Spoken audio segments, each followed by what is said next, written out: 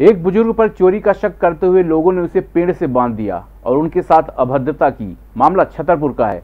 Police का कहना है, जाँच के बाद इस मामले के दोषियों पर कार्रवाई की जाएगी।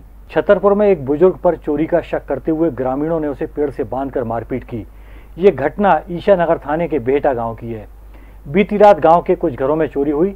सुबह जब लोगों को पता चला तो उन्होंने चोरी के स्थान से लेकर उसकी जाँच की तो उन्हें पेड़ से टिकी एक बंदूक मिली, जिसे एक बुज़ुर्ग ने अपनी बताकर उठा लिया। बस फिर क्या था? ग्रामीणों ने चोरी के शक में बुज़ुर्ग को पेड़ से बाँध दिया और उसकी पिटाई कर दी। तस्वीरों में साफ़ दिखाई दे रहा है कि किस तरीके से गाँव की भीड़ एक बुज़ुर्ग को रस्से के सहारे पेड़ से बाँध रही है और उसके साथ लगातार अभद्रता कर रही है। साथ ही यह आरोप लगाया जा रहा है कि इस बुज़ुर्ग ने गाँव में चोरी की घटनाओं को अंजाम दिया है। बुज़ुर्ग के हाथ में एक राइफल भी है, जो उसकी लाइसेंस ही बताई गई। उधर इस घटना की जानकारी लगते ही पुलिस मौके पर पहुँची और मामले की जाँच शुरू कर दी। इस मामले को लेकर पुलिस अधीक्षक का कहना है कि भीड़ द्वारा एक बुज़ुर्ग को पेड़ से बांधे जाने का मामला सामने आया है। इसमें जो भी दोषी होंगे, उनके खिलाफ कार्रवाई की जाएगी। मेरा आप लोगों से निवेदन ये है, मॉब और लिंचिंग, दोनों का मतलब होता है मॉब का मतलब होता है ग्रुप या फिर समूह। लिंचिंग का मतलब होता है, लिंचिंग का मतलब होता है मर जाना।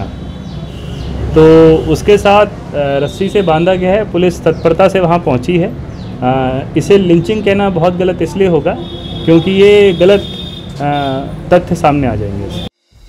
संगीत की स्वर लहरियों से सांस्कृतिक ताने बाने तक चंबल के पीड़ों से नक्सलवादियों के गढ़ तक झोपड़ी से महलों तक ठेलों से मेलों तक पगडंडियों से सड़कों तक गाँव से शहरों तक व्यापार से उद्योगों तक। राजनीति से कूटनीति तक। दखन न्यूज़। आपके हक।